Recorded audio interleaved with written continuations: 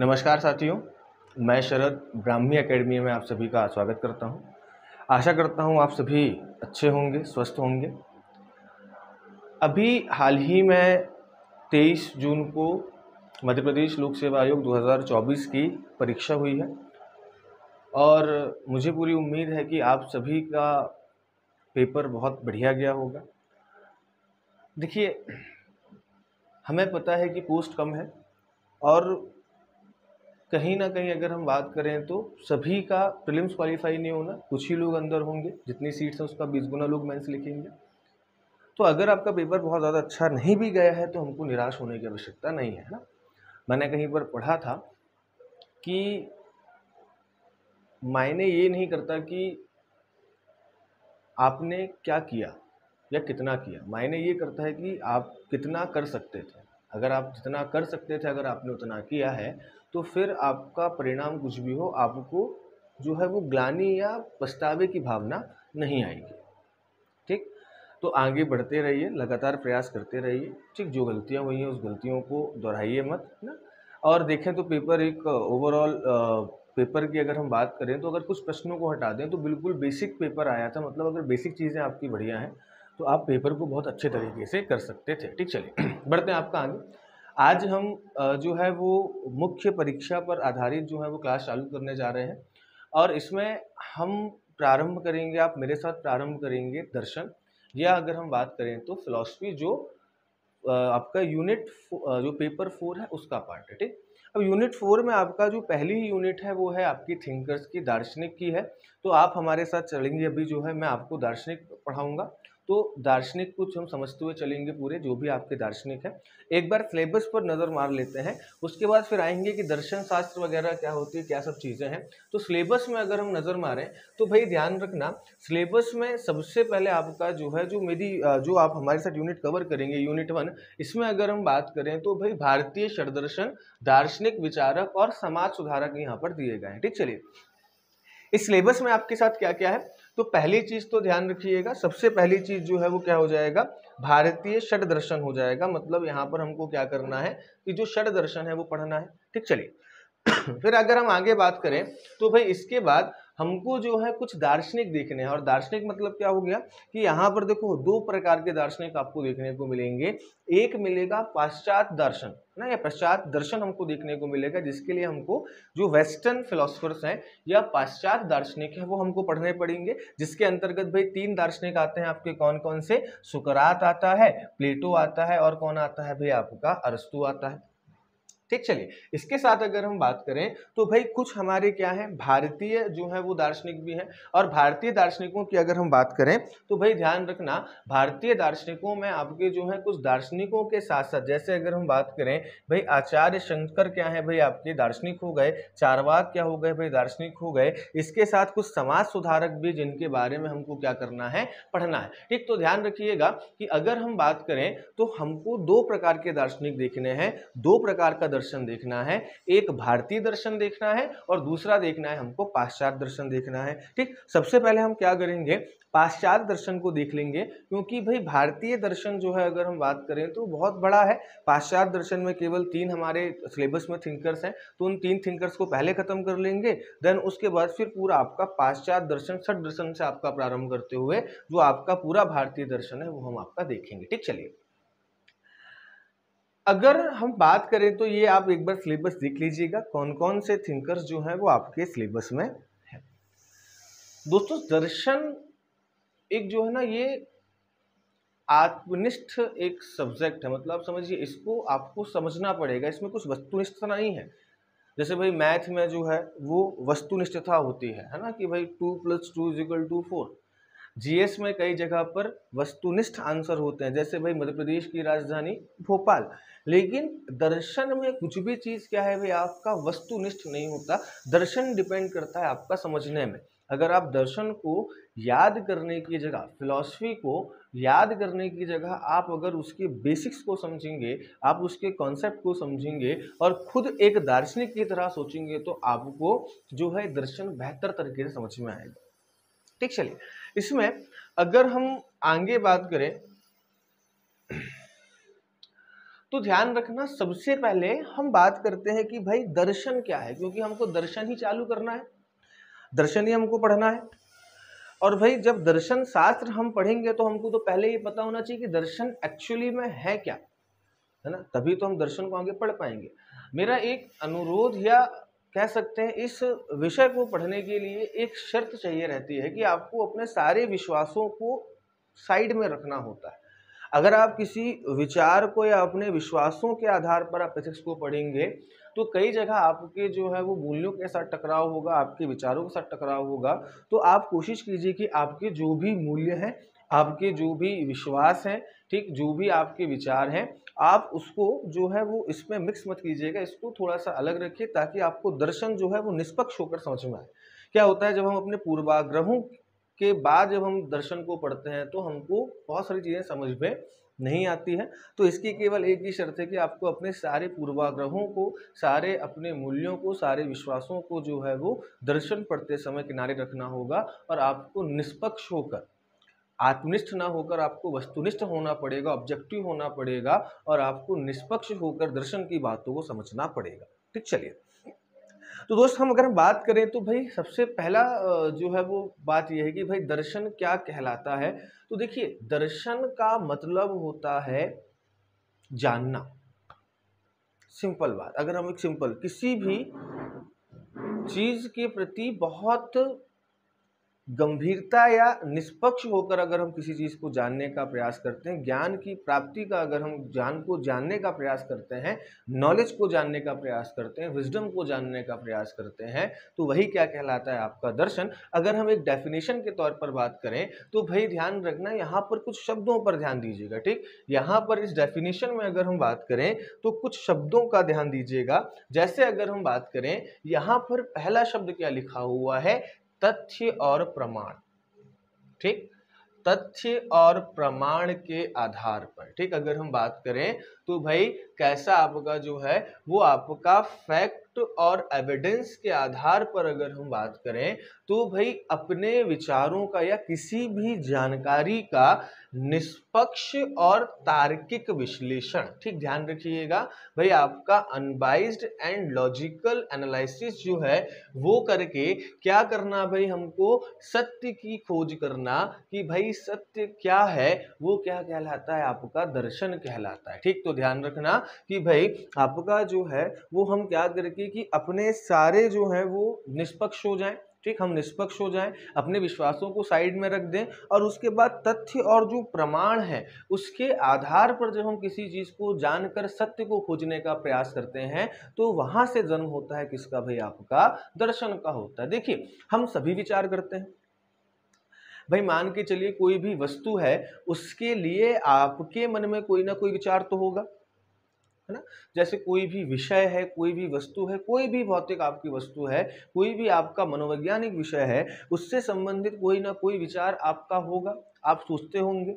अब बस ये है कि आप जो है क्या सोचते हैं? आप उसको अपने आधार पर सोचते हैं अपनी पक्षता के आधार पर सोचते हैं, उसको आप स्वार्थमूलक होकर सोचते हैं, ठीक, या उसको आप जो है वस्तुनिष्ठ या निष्पक्ष होकर सोचते हैं, है ना? जैसे कई बार अगर हम बात करें तो भाई कई व्यक्ति होते हैं जो हिंसा को ठीक मानते हैं। आप मान के चलिए उदाहरण के तौर पर जैसे जो है मांसाहार का सेवन, ठीक? मांस का सेवन, अब कई लोग इसको क्या मानते हैं भाई? सही मानते हैं। विचार किया? हाँ भाई, कहा जनसंख्या ज़्यादा है, जंतुओं की संख्या ज़्यादा है तो एक काम करो, मांस का सेवन करके नहीं, कम करो। हमारे हिसाब से ये सही है।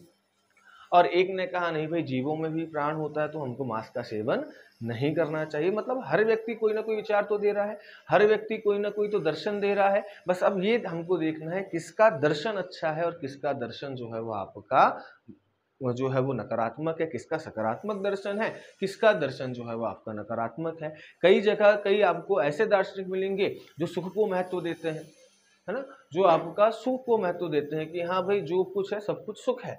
कुछ ऐसे हैं जो दुख को, जो संसार को दुखमय बनाते हैं। जैसे आप जैन दर्शन की बात करेंगे, है ना? या आप अगर हम बात करें, बौद्ध दर्शन की बात करें तो भाई इन्होंने क्या माना? समाज को एक तरीके से दुखमय माना। है ना? अब चारवाक दर्शन की बात करेंगे तो वो क्या करता है? केवल सुख की बात करता है। तो ये दर्शन क्या है? चारवाक के विचार। चारवाक ने किसी विषय के बारे में सोचा और भाई उसको खोजते खोजते क्या है? वो एक पॉइंट तक पहुँचा, एक सत्य तक पहुँचा, जिसको क्या कह दिया भाई? हमने चार भाग का दर्शन कह दिया। तो दर्शन कुछ नहीं, बस किसी भी चीज़ को जानना है। पर ध्यान रखिए, वो जानना कैसा है? वापस बताता हूँ, तथ्य और प्रमाण के आधार पर। जैसे अगर आपके अंदर एक विश्वास आपने बना लिया कि हाँ भाई ईश्वर है ये दर्शन नहीं है। दर्शन क्या है? जब आप इस विश्वास को साइड में रखें और फिर खोजें कि क्या भाई ईश्वर है, उसके बारे में प्रश्न करें। उसके बारे में फिर क्या करें? भाई जाने। फिर जो आपको उत्तर मिले, उसमें संदेह करें। उसके बारे में आप जानने का प्रयास करें कि हाँ भाई, अगर ईश्वर है कि नहीं है, आपको जो भी जवाब मिलता है कि हाँ भाई है है तो भाई कैसा है? किससे बना है? एक है या अनेक है? अनेक एक है तो अनेक कहाँ से आए? अनेक है तो फिर हम परमात्मा को एक क्यों कहते हैं? तो ये क्या कर रहे हैं? अब प्रश्न कर रहे हैं। जैसे आप कभी कभी अपने आप से ही प्रश्न करते हैं कि भाई, ये मेरे साथ क्या हो रहा है? मैं इतना अच्छा हूँ, फिर भी मेरे साथ बुरा क्यों हो रहा है? क्या इस दुनिया में भगवान नहीं है जो सब चीज़ें देख रहा है? तो क्या कर रहे हैं आप? अपने आप से प्रश्न कर रहे हैं। तो यही एक प्रक्रिया जो है, जब आप तथ्यों को साथ में रखते हुए करें, प्रमाणों को साथ में रखते हुए करें और निष्पक्ष होकर, ठीक, ध्यान रखिएगा, कैसे भाई? निष्पक्ष होकर और तार्किक लॉजिकल ठीक, यहाँ पर ये बहुत बड़ा शब्द है क्योंकि पूरा दर्शन तर्कों पर टिका हुआ है। आप सुनते होंगे, आप ओशो को सुनते हैं, आप बड़े बड़े जो है वो फिलोसफर को सुनते हैं, वो क्या करते हैं भाई? तर्क की बातें करते हैं, क्योंकि पूरा दर्शन किस पर टिका हुआ होता है? तर्क पर टिका हुआ होता है। तो ध्यान रखिएगा, तार्किक विश्लेषण कर कर हमको सत्य तक पहुँचना है, वो क्या कहलाएगा भाई आपका? दर्शन। अब दर्शन कैसे इसको और एक तरीके और समझिएगा कि भाई जो मानव है, जो मनुष्य है, ये मनुष्य कैसा व्यक्ति है? मनुष्य एक चिंतनशील प्राणी है या मनुष्य एक विवेकशील व्यक्ति है? ठीक, पहले इसको समझिए, फिर बताता हूँ मैं आपको, इसको एक्सप्लेन करता हूँ। मनुष्य क्या है? मनुष्य एक चिंतनशील या मनुष्य एक विवेकशील प्राणी है। एक आपका रेशनल बींग है या थिंकिंग बींग है, जो जिसके अंदर सोचने की क्षमता है। और यही है जो मनुष्य को मनुष्य बनाती है, क्योंकि आप देखेंगे तो भाई जो पशु हैं वो भी खाना खाते हैं, जैसे मनुष्य खाता है। वो भी चलते फिरते हैं, घूमते फिरते हैं। उनके अंदर भी प्राण है, मनुष्य के अंदर भी प्राण है। लेकिन ऐसा क्या है जो पशु और मानव को अलग बनाता है? वो बताता है चिंतन, या वो बताता है आपका विवेक कि ये आपका चिंतन और विवेक ऐसे गुण हैं जो किसी मनुष्य को मनुष्य बनाते हैं, या मनुष्य को जो है वो जानवर या पशु से क्या करते हैं? भाई आपका अलग करते हैं। ठीक तो भाई ध्यान रखना कि भाई मनुष्य क्या करता है चिंतनशील प्राणी है तो मनुष्य क्या करता है भाई कि उसका हर विषय के प्रति, प्रत्येक विषय के प्रति जो है, वो क्या होता है, एक अपना विशेष दृष्टिकोण होता है। जैसे मैंने आपको बताया कि भाई कोई किसी का दृष्टिकोण है कि नहीं भाई, पैसा ही सब कुछ है। पैसे के बिना कुछ भी नहीं है। किसी का दृष्टिकोण है, नहीं भाई, पैसा जो है, वो थोड़ा बहुत कम हो चल जाएगा, लेकिन भाई शांति या सुख को उसने महत्व दिया। तो हर चीज़ के प्रति किसी के विचार, जैसे मैंने आपको बताया, कोई व्यक्ति मांसाहार को सही मानता होगा, कोई व्यक्ति मांसाहार को गलत मानता होगा। तो हर विषय के प्रति क्या है भाई, किसी ना किसी का कोई विशेष दृष्टिकोण होता है, कोई ना कोई मत होता है। कोई हो सकता है कि भाई आपका जो है, वो नाइट कल्चर का समर्थन कर रहा हो। कोई हो सकता है जो भाई नाइट कल्चर का विरोध कर रहा हो। ठीक तो यहाँ पर क्या है? दो मत आपके बन गए, सबके अपने अपने मत हैं। इसके बाद अगर हम बात करें तो भाई आपका विश्वास, सबके अलग अलग विश्वास है। कोई ईश्वर को मानता है, कोई ईश्वर को नहीं मानता है। कोई आत्मा को मानता है, कोई आत्मा को नहीं मानता है तो जब अब मनुष्य जो है, वो अपने इन विषय इन विषय के प्रति जो दृष्टिकोण है, जो इनका मत है, जो इनकी विश्वास है, जब इनका जो है वो तर्क के आधार पर विश्लेषण करता है, तब जन्म होता है किसका भाई? आपके दर्शन का जन्म होता है। तब तर्क के आधार पर। अगर आप मन मेरे विश्वास बनाकर बैठे हैं कि भाई ईश्वर तो होता ही है। तो आप कितना भी प्रश्न चिन्ह लगा लें, आप कितने भी प्रश्नों को मान लें, कोई आपको कितना भी समझा दे, आप उस चीज़ों को नहीं मानेंगे कि हाँ भाई ईश्वर नहीं होता। क्यों? क्योंकि आप उस विश्वास को अपने पहले अंदर धारण किए हुए हैं कि हाँ भाई ईश्वर होता है। तो वो पूर्वाग्रह या वो पहले से आपकी जो चिंतन है या जो विचार है, वो पहले से आपके अंदर क्या है भाई? आपका जो है वो जमकर बैठा हुआ है और इसलिए कहा जाता है कि भाई जब भी आपको कुछ नया सीखना है या जब भी आपको दर्शन पढ़ना होता है तो आपको बौद्धिक रूप से विनम्र होना होता है। बौद्धिक रूप से विनम्र मतलब क्या?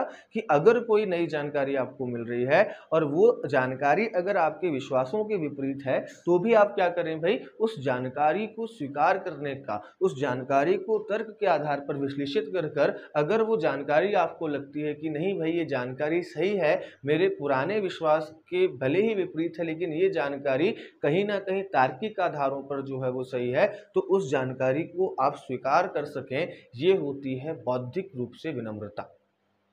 ठीक? तो ये चीज़ ध्यान रखना कि दर्शन क्या है? दर्शन के बारे में एक चीज़ और ध्यान रखना, अगर हम बात करें तो भारत में या भारतीय दर्शन में अगर हम देखें तो जो दर्शन है उसका एक आयाम है मोक्ष। वो मोक्ष की बातें करेगा, वो परमात्मा की बातें करेगा। मतलब कहीं ना कहीं से भारतीय दर्शन क्या है भाई? आपका आध्यात्मिक है। लेकिन जब आप कहाँ जाएँगे भाई? वेस्टर्न में जाएँगे तो वेस्टर्न में उनका दर्शन क्या होता है? वैज्ञानिक होता है। तो हमारे यहाँ का दर्शन कैसा है भाई? आध्यात्मिक। हमारे यहाँ किस पर विचार किया गया है? मोक्ष पर। हमारे यहाँ किस पर विचार किया गया? है ईश्वर पर। हमारे यहाँ किस पर विचार किया गया है? संसार पर विचार किया गया है। और वहीं अगर आप वेस्टर्न जो है फिलोसफर को देखेंगे तो वो बात करते हैं ज्ञान की, गुणों की, सद्गुणों की, संप्रत्ययों की। तो ये क्या है भाई आपका एक वैज्ञानिक दृष्टिकोण है। वहाँ पर बहुत ज़्यादा आध्यात्मिक पुट देखने को नहीं मिलेगा, जबकि भारत के दर्शन में आपको क्या देखने को मिलेगा भाई? आध्यात्मिक पुट देखने को मिलेगा। तो मैं आशा करता हूँ कि दर्शन क्या होता है वो आपको समझ में आ गया होगा। एक छोटी सी लाइन में आपको वापस क्लियर कर देता हूँ कि आपके जो भी विचार हैं या आपकी जो भी जानकारी है, जब आप तर्कों के आधार पर, जब आप तार्किक विश्लेषणों के आधार पर, जब आप तथ्यों के आधार पर अपनी उस जानकारी पर प्रश्न चिन्ह लगाते हुए सत्य तक पहुँचने का प्रयास करते हैं, तब किसका जन्म होता है? दर्शन का जन्म होता है। और इन्हीं तर्कों के आधार पर निष्पक्ष निष्पक्ष रूप से जो ज्ञान प्राप्त होता है, जो सत्य प्राप्त होता है, उसको क्या कहते हैं भाई आपका? दर्शन कहते हैं। ठीक, चलिए। बात करते हैं आपका आगे। अब देखिए, दर्शन की अगर हम बात करें तो दर्शन में आपको दो प्रकार के दर्शन देखने को मिलेंगे, जिसमें एक है आपका कैसा, भाई, पाश्चात्य दर्शन है, जिसको हम कहते हैं आपका क्या, भाई वेस्टर्न फिलोसफी कहते हैं। और दूसरा दर्शन कैसा होगा भाई? आपका जो है वो भारतीय दर्शन होगा। भारत का जो आपका फिलोसफी है या आपका जो इंडियन फिलोसफी है वो होगा। अब समझना, इन दोनों में आपका बेसिक अंतर क्या है? अगर हम दर्शन की बात करते हैं, वेस्टर्न के हिसाब से, पश्चिमी के हिसाब से बात करते हैं तो वेस्टर्न में ध्यान रखिएगा, दर्शन मतलब फिलोसफी जो है, वो दो शब्दों से मिलकर बनी है, फिलॉस और सोफिया। फिलॉस का मतलब होता है प्रेम और सोफिया का मतलब होता है क्या? ज्ञान या विजडम ठीक? तो ध्यान रखना, सोफिया का मतलब क्या होता है? नॉलेज या विजडम होता है, और भाई ध्यान रखिएगा फिलो का मतलब क्या होता है? प्रेम मतलब कि भाई आपका ज्ञान के प्रति जो प्रेम है पाश्चात दर्शन के हिसाब से बात करना, ज्ञान के प्रति प्रेम या अनुराग या ज्ञान को ही जानने की इच्छा क्या कहलाती है भाई? आपका दर्शन। और ये ज्ञान कैसा होना चाहिए? ध्यान रखना, ये ज्ञान आपका ऑब्जेक्टिव होना चाहिए, ये ज्ञान आपका वस्तुनिष्ठ होना चाहिए। वस्तुनिष्ठ का मतलब क्या? ये सब पर लागू हो सके। ये ज्ञान आपका जो है, ये व्यक्ति की स्थिति के हिसाब से नहीं होना चाहिए। जैसे अगर वस्तुनिष्ठ का मतलब कैसा हो गया कि जैसे सिंपल बात है कि हमने बात किया हिंसा। अब हिंसा पर सबके अलग अलग मत हो सकते हैं। तो ये क्या हो गया? भाई ये वस्तुनिष्ठ नहीं हो गया। ये कैसा हुआ? भाई आपका आत्मनिष्ठ हुआ। मतलब इसका उत्तर व्यक्ति के हिसाब से होगा। इसका कोई एक फिक्स उत्तर नहीं है। लेकिन अगर आप गणित में जाएँगे और आप पूछेंगे कि भाई दस प्लस दस कितना होता है तो भाई वहाँ पर क्या होगा? आप किसी से भी पूछें, जिसको भी गणित आती है वो क्या बोलेगा? भाई बीस, क्योंकि वहाँ पर एक वस्तुनिष्ठता है। वहाँ पर एक फिक्सिबिलिटी है। जैसे आप देखते हैं, आपने जो अभी पेपर दिया, उसमें किस प्रकार के प्रश्न आते हैं? उसमें आते हैं वस्तुनिष्ठ प्रश्न मतलब आपने आपने जो है वो क्वेश्चन दिया हुआ है, उसमें क्या दिए हुए हैं? चार विकल्प दिए हुए हैं। उस विकल्प में से आपको क्या करना है भाई? एक विकल्प आपको जो है वो चुनना है, और वो विकल्प सभी के लिए क्या रहेगा भाई? आपका जो है सही या गलत रहेगा। अगर कोई आंसर आयोग ने माना है तो वो क्या रहेगा भाई? सभी के लिए आपका जो है वो समान रहेगा। ठीक, सभी के लिए अलग अलग नहीं होगा कि भाई किसी के लिए वो आंसर ए हो गया, किसी के लिए बी हो गया। जैसे उदाहरण के तौर पर कि भाई आया, मध्य प्रदेश की राजधानी क्या है? वो चार ऑप्शन आपको दे दिए, भोपाल, जबलपुर, ग्वालियर, इंदौर। अब भाई सभी के लिए उसका आंसर क्या होगा? भोपाल होगा। ऐसा नहीं कि किसी के लिए इंदौर होगा, किसी के लिए जो है वो ग्वालियर होगा, किसी के लिए जो है वो भोपाल होगा, ऐसा तो नहीं है। हाँ लेकिन अगर किसी से पूछा जाए कि भाई आपकी राय में जो है, वो मध्य प्रदेश की राजधानी क्या होनी चाहिए थी? तो अब यहाँ पर मुद्दा कैसा हो गया? यहाँ पर मुद्दा आपका जो है, वो रैशनल हो गया। या यहाँ पर मुद्दा जो है, वो आपका कैसा हो गया? भाई आत्मनिष्ठ हो गया। अब यहाँ पर लोग अपने हिसाब से, अपने जस्टिफिकेशन के हिसाब से आपको बताएँगे कि भाई ये राजधानी होनी चाहिए। कोई हो सकता है जबलपुर का समर्थन करे। कोई हो सकता है ग्वालियर का समर्थन करे, कोई हो सकता है कहे कि नहीं भाई नर्मदापुरम को होना चाहिए, कोई कह सकता है उज्जैन को होना चाहिए। तो यहाँ पर क्या हो गया? यहाँ पर बात हो गई फिर आपकी आत्मनिष्ठा की। मुख्य परीक्षा में जो आप आंसर लिखते हैं, वो आपको जो प्रश्न समझ में आया, उसके हिसाब से आपको जो अच्छा लगता है, आपने वो आंसर लिखा मतलब वो क्या हो गया? आपका आत्मनिष्ठ हो गया। तो यहाँ पर ध्यान रखना कि दर्शन में जो ज्ञान की बात होती है ना भाई, ये ज्ञान कैसा होना चाहिए? आपका वस्तुनिष्ठ होना चाहिए, है ना? वस्तुनिष्ठ मतलब अगर हम बात करें तो भाई आपका ऑब्जेक्टिव होना चाहिए। अलग अलग लोगों के लिए अलग अलग नहीं होना चाहिए। दूसरा कि ये सार्वभौमिक होना चाहिए। सार्वभौमिक मतलब अगर हम बात करें तो वस्तुनिष्ठा हो गई या इसको आप कह सकते हैं कि एक निश्चितता उसके अंदर होनी चाहिए कि भाई वो आपका क्या हो, एक निश्चित हो। दूसरा क्या कि भाई ये जो आपका ज्ञान है, ये कैसा होना चाहिए, ये होना चाहिए भाई आपका सार्वभौमिक। सार्वभौमिक मतलब क्या आपका यूनिवर्सल। जो सबके लिए क्या हो भाई आपका समान। वस्तुनिष्ठ मतलब क्या हो गया? एक फिक्स होना। और भाई यूनिवर्सल मतलब क्या हो गया कि भाई यूनिवर्सल का मतलब हो गया कि सभी के लिए है। ये किसी परिस्थिति के अनुसार परिवर्तित नहीं होता। है ना? जैसे अगर मान लीजिए कोई व्यक्ति जो है, अगर हम उससे हिंसा की बात करें और अगर उसको हमने दो सिचुएशन दे दी हमने कहा कि भाई एक आतंकवादी है, वो लोगों को मार रहा है तो बताओ ये हिंसा अच्छी बात है कि बुरी बात है? सामने वाला क्या बोलेगा? नहीं भाई, हिंसा तो गलत बात है। लेकिन वही परिस्थिति अगर हमने परिवर्तित कर दी, हमने कहा कि भाई एक व्यक्ति में, एक जो है वो घर में कुछ चोर घुस गए, कुछ डकैत आपका आ गए हैं और वहाँ पर सबको बंधक बना लिया है और वहाँ पर केवल एक ही व्यक्ति ऐसा है जो बचा हुआ है और उसके हाथ में जो है कोई शस्त्र या मान लीजिए बंदूक है, अब वो दो चीज़ें कर सकता है, या तो उसको वो मार दे या तो अपनी पूरी फैमिली के प्राण जाने दे। तो वहाँ पर आप अगर हिंसा करते हैं या सेल्फ या अपने परिवार की रक्षा के लिए आप हिंसा करते हैं तो वही हिंसा क्या हो जाती है? सही हो जाती मतलब हिंसा वही है, लेकिन परिस्थिति के अनुसार क्या हो गई? भाई चेंज हो गई। क्लियर है ये पॉइंट तो ध्यान रखना, इन्होंने क्या कहा कि ज्ञान कैसा हो भाई? वस्तुनिष्ठ हो मतलब उसमें एक निश्चितता हो। दूसरा क्या हो भाई? आपका सार्वभौमिक हो मतलब वो सभी के लिए हो। इस चीज़ को ध्यान रखना। तो भाई पाश्चात दर्शन जो है वो किसकी बात करता है? ज्ञान की बात करता है। और भाई पाश्चात दर्शन का विज्ञान जो आपका विकास है, वो किससे हुआ है भाई? आपका जिज्ञासा से हुआ है। मतलब दिमाग में उठने वाले सवालों से हुआ कि ये चीज़ के प्रति जानने से हुआ है। ना? तो ध्यान रखिएगा। अगर हम बात करें किसकी भाई? भारतीय दर्शन की बात करें तो भारतीय दृष्टिकोण से ध्यान रखना, अगर हम भारतीय दृष्टिकोण से बात करते हैं तो भाई यहाँ पर जो है, वो मैंने आपको बताया थोड़ा सा क्या मिलेगा भाई? आध्यात्मिक पुट देखने को मिलेगा। यहाँ पर क्या देखने को मिलेगा आपको? यहाँ देखने को मिलेगा कि भाई सर्वोच्च सत्ता कौन है सबसे ऊपर? वो एक है, अनेक है, परमात्मा की बात होती है, ईश्वर की बात होती है, ब्रह्मा की बात होती है, मोक्ष की बात होती है, ये सारी चीज़ें क्या हैं भाई? ये आपको देखने को मिलेगा क्या? भारतीय दर्शन में, जिसमें आत्मा है कि नहीं आत्मा का ईश्वर से क्या संबंध है? ठीक ब्रह्मा है कि नहीं? परमात्मा है कि नहीं? उसका इस संसार से क्या संबंध है? और कैसे आप जो है, वो मोक्ष की ओर जा सकते हैं? ये किसमें देखा जाता है भाई?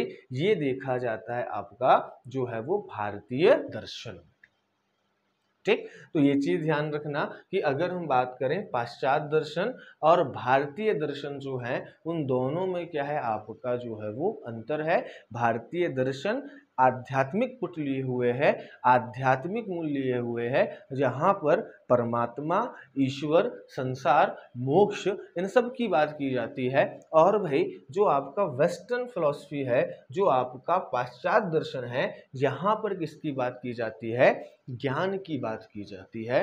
तो आशा करता हूँ कि इन दोनों दर्शनों में क्या आपका डिफरेंस है, या ये दोनों दर्शन क्या है, ये आपको समझ में आ गया होगा। चलिए बढ़ते हैं आपका आगे। अब जब हम दर्शन पढ़ते हैं तो ये शब्द आपके सामने बार बार आएँगे। ठीक? क्या है इसको समझते हैं हम? जब भी हम दर्शन पढ़ते हैं तो उन दर्शन पर तीन चीज़ों पर चर्चाएँ की जाती है। उस दर्शन पर अगर हम बात करें तो तीन डायमेंशंस पर हम बात करते हैं, तीन आयाम पर बात करते हैं। एक क्या होता है भाई? एक ध्यान रखिएगा, एक होता है आपका तत्व मीमांसा। कौन सी मीमांसा भाई? तत्व मीमांसा होती है। और तत्व मीमांसा मतलब क्या हो गया भाई? आपका मेटाफिजिक्स हो गया। दूसरा क्या होती है भाई? ज्ञान मीमांसा। ठीक, जिसको हम क्या कहते हैं? आपका एपिस्टेमोलॉजी कहते हैं। तो दूसरा क्या होता है भाई? आपका ज्ञान मीमांसा होता है। और तीसरा अगर हम बात करें तो भाई तीसरा क्या होता है? ध्यान रखिएगा। तीसरा जो होगा, वो क्या होगा भाई? ध्यान रखिएगा, वो होगा नीति मीमांसा। या अगर हम बात करें तो भाई आपका एथिक्स होगा, जिसको हम आचार मीमांसा भी कहते हैं। तो जब भी हम दर्शन की बात करते हैं तो ध्यान रखना, दर्शन में तीन शाखाएँ होती हैं तत्व मीमांसा ज्ञान मीमांसा और नीति मीमांसा ये शब्द आप जब दर्शन पढ़ेंगे तो आपको बार बार सुनने में आएगा, बार बार पढ़ने में आएगा। और तीनों दर्शन की अलग अलग शाखाएँ हैं। इन तीनों में अलग अलग जो है वो विचार किए जाते हैं अलग अलग विषयों पर विचार किए जाते हैं। तो इसको एक बार समझिए, क्योंकि कई बार क्या होता है कि भाई आपको आ जाता है कि सुकरात की ज्ञान मीमांसा के बारे में, सुकरात की ज्ञान मीमांसा के बारे में, नीति मीमांसा के बारे में लिखिए, है ना? या अगर हम बात करें तो भाई आचार्य शंकर के तत्व मीमांसा संबंधी विचार लिखिए। तो अब आपको ये पता होना चाहिए कि ये है क्या? तो चलिए समझते हैं।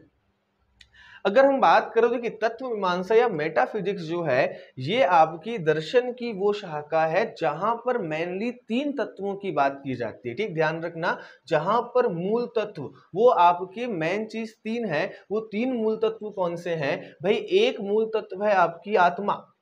आत्मा है कि नहीं है? है ना? है तो भाई मेल है फीमेल है, ठीक? ये सब इस पर, या आत्मा का ईश्वर से क्या संबंध है? आत्मा का जगत से क्या संबंध है? आत्मा का मोक्ष क्या संबंध है? ये सब हम क्या करते हैं भाई? यहाँ पर आपकी चर्चा करते हैं। दूसरा संबंध है भाई आपका ईश्वर से। ईश्वर है कि नहीं है? है तो भाई एक ही ईश्वर है या बहुत सारे ईश्वर है? ईश्वर महिला है या ईश्वर पुरुष? सबसे पहले ईश्वर कहाँ से आया?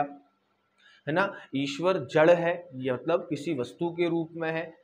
या चेतन है मतलब आत्मा के रूप में है तो ईश्वर कैसा है, उसका क्या संबंध है इस संसार के साथ? क्या ईश्वर ने ही हम सबको बनाया है? क्या ईश्वर ने ही जगत को बनाया है? ठीक, क्या इस जगत को ईश्वर ही संचालित करता है? जब ये सब प्रश्नों की बात की जाए तो वहाँ पर क्या होगा भाई? ध्यान रखिएगा, वो भी आपका तत्व मीमांसा में आएगा। इसके बाद अगला हो गया भाई आपका जगत। ठीक? अगर हम बात करें, अगला क्या हो गया भाई आपका? जगत हो गया मतलब सोल हो गया गॉड हो गया और वर्ल्ड हो गया। जब इन तीन की हम बात करते हैं, आत्मा की बात करते हैं, ईश्वर की बात करते हैं, जगत की बात करते हैं कि भाई आपका जो है, वो जगत कैसे बना? जगत कैसे उत्पन्न हुआ? क्या जगत ही समाप्त हो सकता है? जैसे इंसान समाप्त होता है तो क्या ऐसे जगत समाप्त हो सकता है? ये सारी चीज़ें क्या है भाई? हमको इसमें आपको देखना पड़ेगा। या तत्व मीमांसा में अगर हम बात करें, इन चीज़ों को जो है वो देखा जाता है। और भाई यहाँ पर देखिए, दो ही तत्वों और विचार किया जाता है। जैसे आत्मा हो गया, ईश्वर हो गया, जगत हो गया तो ये क्या हो सकता है भाई? या तो जड़ होगा। कोई भी वस्तु क्या हो सकती है? दो रूपों में हो सकती है, या तो जड़ के रूप में हो सकती है। जड़ का मतलब क्या हो गया भाई? अगर हम बात करें तो भाई आपका मैटर के फॉर्म में हो सकती है। मैटर मतलब क्या हो गया भाई आपका? जैसे मान के चलिए, भाई ये पेन है, मार्कर है, ये बोर्ड है, ठीक? ये सब क्या है भाई आपका? मैटर है। ये सब क्या है भाई? अगर हम बात करें तो जड़ है, इसको हम देख सकते हैं। इसको सिद्ध करने की आवश्यकता नहीं है। लेकिन दूसरा क्या होता है भाई आपका? चेतना हो जाती है। या अगर हम बात करें, चेतना क्या हो गया आपका जो है? चेतना ध्यान रखिएगा। अगर हम बात करें तो भाई आपका जो है वो कॉन्साइंस की हम बात करते हैं सोल की बात करते हैं, आत्मा की बात करते हैं जैसे भाई ईश्वर है तो ईश्वर जड़ के रूप में है कि आत्मा के रूप में हमारे अंदर की जो आत्मा है, जब हम इस पर विचार करते हैं तो वो कैसी हो गई भाई? आपकी चेतना हो गई। तो ध्यान रखना कि भाई आपकी तत्व मीमांसा में जो है, वो मुख्यतः तीन चीज़ों पर बात की जाती है।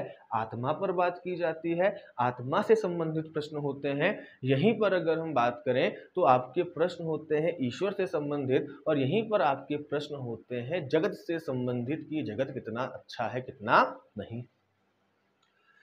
दूसरा दर्शन का एक शाखा है जिसको कहा जाता है ज्ञान मीमांसा। ठीक, चलिए, जिसको क्या कहा जाता है भाई, अगर हम बात करें तो ज्ञान मीमांसा कहा जाता है। अब ज्ञान मीमांसा क्या है भाई? एपिस्टेमोलॉजी क्या है? तो ध्यान रखना, यहाँ पर बात की जाती है भाई ज्ञान की। ज्ञान क्या है? वास्तविकता में एक्चुअल नॉलेज क्या है? सही क्या है? ज्ञान क्या है? इसकी बात की जाती है। सही ज्ञान प्राप्त कैसे कर सकते हैं? इसकी बात की जाती है है ना? मतलब सही ज्ञान हमको कैसे प्राप्त होगा? कुछ कहेंगे? जैसे मान के चलिए कि भाई आपने जो है कोई वस्तु खाई या मान लीजिए आप कहीं शादी पार्टी में गए, आपने खाना खाया, अब एक ज्ञान आपको इंद्रिय से प्राप्त हो रहा है। आपने कहा, नहीं भाई, खाना तीखा था। या आपने कोई चाय पी? भाई, मान के चलिए कि आप जो है वो कहीं खाने पर गए, खाने पर गए, वहाँ पर तीन चार प्रकार के व्यक्ति हैं। एक व्यक्ति जो है, वो बिल्कुल भी तीखा नहीं खाता, एक व्यक्ति सामान्य तीखा खाता है और एक व्यक्ति बहुत ज़्यादा मसालेदार खाना खाता है। अब उन्होंने क्या किया? भाई, आपने जो है वो खाना शुरू किया, तीनों व्यक्ति ने खाया। अब तीनों व्यक्ति की जो इंद्रिया का जो स्रोत है मतलब इंद्री भी क्या होगी? ज्ञान का स्रोत है ना? भाई, ये पेन आपका ठोस है कि भाई लिक्विड है, मैं पकड़ रहा हूँ तो मुझे समझ में आ रहा है कि हाँ भाई, ये ठोस है। ठीक तो समझिएगा कि अगर हम बात करें तो ज्ञान का स्रोत क्या हो सकता है? भाई, आँखों से हम देख रहे हैं कि इसका रंग काला है। ये भी क्या है? एक ज्ञान का स्रोत हो गई हमारी इंद्रियाँ। हम कुछ सुन रहे हैं, वो भी क्या हो गया? भाई, ज्ञान का स्रोत हो गया। हमने किसी चीज़ को स्पर्श किया, हमको वो वस्तु ठंडी लगी या गर्म लगी तो ये भी क्या है भाई? ज्ञान का स्रोत है। ये भी सोर्स है एक नॉलेज का, जहाँ से हमको क्या मिल रहा है भाई? ज्ञान मिल रहा है। तो अब ज्ञान का सही स्रोत क्या है? जैसे मैं आपको उदाहरण दे रहा था कि भाई, तीन लोग हैं जो अलग अलग तीखा खाते हैं। एक कम खाता है, एक सामान्य खाता है और एक बहुत ज़्यादा खाता है। आपने उनको भोजन सर्व किया और आपने उसमें बिल्कुल सामान्य मिर्ची मिलाई हुई थी। अब आप जब भोजन की बात करेंगे तो देखो इंद्रियों का ज्ञान अलग अलग हो गया। कैसा? जो बिल्कुल भी मिर्ची नहीं खाता, उसके लिए सामान्य मिर्ची भी क्या है भाई? ज़्यादा है। वो क्या कहेगा? भाई खाना बहुत तीखा है। जो व्यक्ति सामान्य खाना खाता है, उसके लिए खाना अच्छा रहेगा। वो बोलेगा, नहीं भाई, बढ़िया खाना है। सब कुछ बढ़िया, बैलेंस है। और जो व्यक्ति ज़्यादा मसालेदार खाना खाता है, वो कहेगा, नहीं भाई, खाना क्या है? फीका है। अब एक ही खाना तीन लोगों के लिए क्या हो गया भाई? आपका अलग अलग हो गया। ये किसका ज्ञान था? इंद्रियों का ज्ञान था। तो क्या ये जो इंद्रियों से ज्ञान प्राप्त होता है, क्या ये सही है? या बुद्धि से जो हम ज्ञान प्राप्त करते हैं, वो सही है? तो वास्तविकता में ज्ञान का सही स्रोत क्या है? मेन सोर्स क्या है? इसकी बात की जाती है यहाँ पर कि भाई ज्ञान क्या है? और भाई जो ज्ञान है, वो हम कहाँ से प्राप्त कर सकते हैं? ठीक है? चलिए। इसके बाद अगला क्या हो जाएगा कि भाई इस ज्ञान का स्वरूप कैसा होता है? क्या ज्ञान सभी के लिए एक जैसा होता है? क्या ज्ञान सभी के लिए अलग अलग होता है? क्या ज्ञान परिस्थिति के हिसाब से चेंज हो जाता है? या ज्ञान जो है वो आपका सार्वभौमिक होता है? ज्ञान क्या आत्मनिष्ठ होता है? आत्मनिष्ठ मतलब कि व्यक्ति के अनुसार। या ज्ञान जो है वो आपका भाई, अगर हम बात करें तो सभी वस्तुनिष्ठ मतलब एक फिक्स होता है। तो बहुत सारे सवाल यहाँ पर इसकी प्रकृति के बारे में जो है वो की जाती है। फिर ज्ञान की उत्पत्ति कहाँ से हुई? ज्ञान का विषय क्या है? किसी विषय पर कितना ज्ञान आप जो है, उसकी क्या आपकी सीमा है? किसी भी चीज़ का ज्ञान प्राप्त करने के लिए आप किस सीमा तक जा सकते हैं? ये भी क्या है भाई आपका? ध्यान रखिएगा। एक तरीके से जो है, ज्ञान के बारे में तो चर्चा की जा रही। है ठीक? फिर ज्ञान की प्रामाणिकता कि भाई आपको जो ज्ञान प्राप्त हुआ है, क्या वो सही है?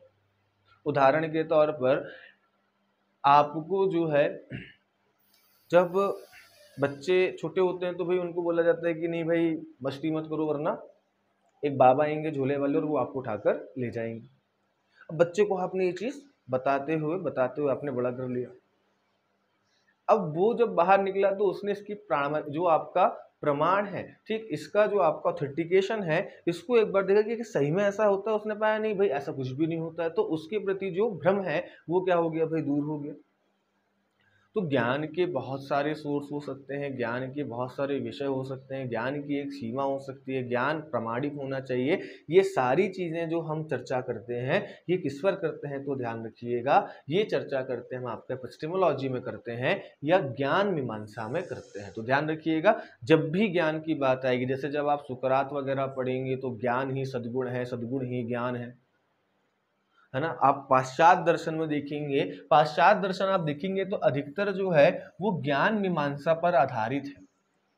मतलब वहाँ पर इन्हीं की बात की गई है, ज्ञान की बात की गई है, सदगुण की बात की गई है, ठीक? विवेक की बात की गई है, साहस की बात की गई है, संयम की बात की गई है तो ये जो आपके ज्ञान के गुण होते हैं, वहाँ पर उसकी चर्चा की गई है। और भाई, साथ ही साथ में आप ध्यान रखना, नीति मीमांसा क्या होती है एथिक्स क्या होती है तो नाम से ही आपको क्लियर है जो आप पढ़ रहे हैं। मतलब व्यवहार पर जहाँ पर बात की जाए, जहाँ पर बिहेवियर की बात की जाए, जहाँ पर नीतियों की बात की जाए, क्या सही है, क्या गलत है? है ना? कैसा व्यवहार करना चाहिए, कैसा व्यवहार नहीं करना चाहिए? तो जब आप जो है वो अच्छे गुणों की बात करें, जो आपके व्यवहार में प्रयुक्त होने वाले जब आप मूल्यों की बात करें, ठीक, जैसे भाई अच्छाई की आप बात करें, ईमानदारी की बात करें, ये सारे क्या आते हैं भाई आपके ध्यान रखिएगा? जो आपके व्यवहार को प्रभावित करते हैं, उस वो किसके अंतर हम स्टडी करते हैं? तो वो करते हैं आपका नीति मीमांसा के अंतर्गत जब हम मूल्यों की बात करते हैं। फिर हम ये पाते हैं कि उनमें से कौन सा मूल्य अच्छा है। ठीक, तीनों में एक उदाहरण के समय समझाता हूँ। भाई, जब ईश्वर की बात हो रही है, आत्मा की बात हो रही है, जगत की बात हो रही है तो क्या हो जाएगा? भाई, तत्वमीमांसा हो जाएगा। जब ज्ञान की बात हो रही है कि भाई नॉलेज के बारे में बात हो रही है तो वो क्या हो जाएगा? भाई, आपका जो है वो ज्ञान मीमांसा इसके अलावा, जब आपकी मूल्यों की बात होती है, जब आपकी वैल्यूज़ की बात होती है, जैसे भाई, दो गुण है, मान के चलिए एक गुण है आपका बेईमानी और एक गुण है आपका ईमानदारी, जो है ईमानदारी। तो दोनों क्या है भाई अगर हम बात करें तो दोनों एक मूल्य है।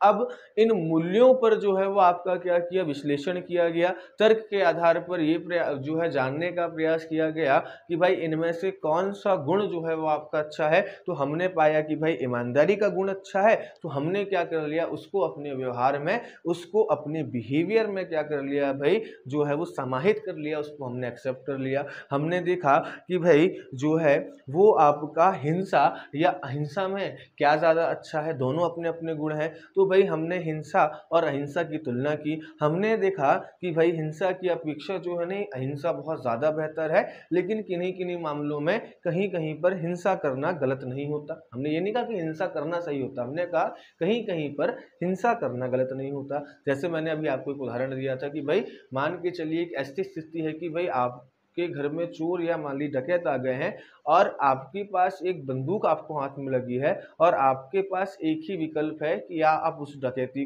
डकैत को मार दें, केवल एक ही विकल्प है। और आपने कभी, आप अहिंसा पर बहुत विश्वास करते हैं, आपने कभी भी हिंसा नहीं करी।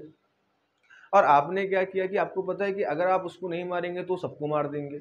तो अब वहाँ पर अगर आप हिंसा करेंगे तो यहाँ पर हिंसा को गलत नहीं माना गया। है ना? तो ध्यान रखिएगा, यहाँ पर हम क्या करते हैं भाई? मूल्यों की बात करते हैं। यहाँ पर जो है हम किसकी बात करते हैं भाई? मीमांसा की बात करते हैं। तो इस बात को जो है आप समझिएगा, ठीक? चलिए तो ये आपके जो है वो क्या हो जाएँगे भाई, अगर हम बात करें तो ये आपका जो है वो एक तरीके से दर्शन का एक आधार हो गया। अब यहाँ से हम जो है नेक्स्ट लेक्चर से जो है, वो शुरू करेंगे जो है पहले जो वेस्टर्न आपका फिलोसफी है या जो आपका पाश्चात्य दर्शन है। देखिए, आपके सिलेबस में शुरुआत तो सर दर्शन से है ना? शुरुआत में सर दर्शन लिखा हुआ है, उसके बाद फिर आपके फिलोसफर हैं वेस्टर्न वाले, फिर आपके इंडियन फिलोसफर हैं। तो हम सर दर्शन इंडियन फिलोसफर के साथ ही करेंगे। इंडियन फिलोसफर के जस्ट पहले हम सर दर्शन कर लेंगे। अभी हम जो प्रारंभ करेंगे, वो क्या करेंगे भाई आपका? वो प्रारंभ करेंगे वेस्टर्न फिलोसफर को फॉलो करेंगे और उसमें सुकरात, प्लेटो और अस्तु को पहले जानते हुए, उसके बाद फिर हम क्या करेंगे भाई आपका आएँगे, जो है वो भारतीय दर्शनों पर आएँगे या भारतीय दार्शनिकों पर आएँगे। तो आज के लिए इतना ही। मिलते हैं आपसे अगली वीडियो में।